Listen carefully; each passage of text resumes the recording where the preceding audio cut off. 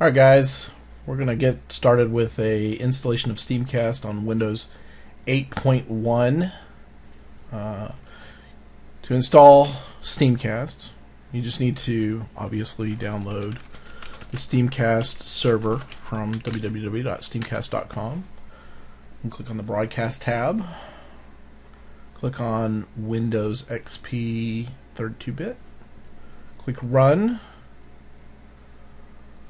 uh, with the Windows uh, trying to protect your PC, that simply just means that we don't have a the uh, security certificate associated with our installer. That's perfectly normal. It's not going to kill you. So click on Run anyway. And now we'll just hit Next. And we'll want to install as a service. So hit Next.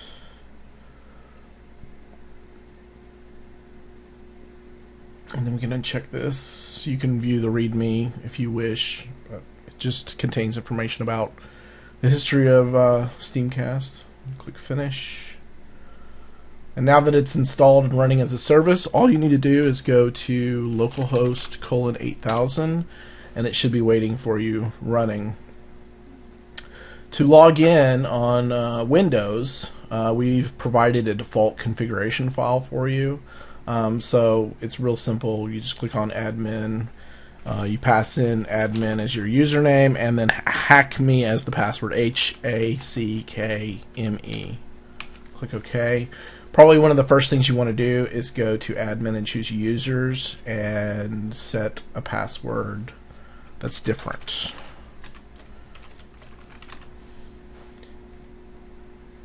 And there we go. Now we can go back to the administration index and we'll want to use our new password. Uh, we've also provided a default mount in here, but in order to kind of show you the power of things, uh, we can simply delete it. And let's give you a whole new mount. Uh, click on add and just pick any mount name you like. Doesn't really matter. Hit create and then click on the mount name. In here is where you'll be able to see the status of this particular mount. Uh, the important tab will be configure. From here we'll want to add a new entry and select relay. Hit add field, done, and then type in the address of any valid uh, MP3 AAC Plus, NSV, or OGG stream. We'll just use our dev server as a example.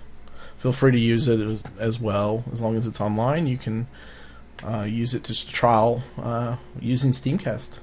So once we've hit saved, you might notice that it just kind of seems like nothing happens.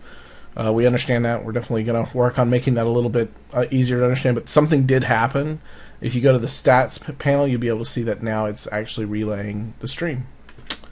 Uh, we can go back to the administration index and we'll see some uh, information about this particular mount. And as you can see, in as little as three minutes, I've installed Steamcast and set up a relay. It's that simple in Windows. Uh, we can click play here and we can actually hear audio. So long as your browser supports it, we'll actually embed the audio inside the uh, the panel. Uh, if the browser or if it doesn't support it or Flash is not installed, then it should load an external player like Winamp or XMS or whatever you listen to. Uh, once that's done, yeah, you're you're now set to go. You're relaying. Uh, that should show you how simple and easy it is to relay with Steamcast. Thanks for watching this video. I hope you enjoyed it.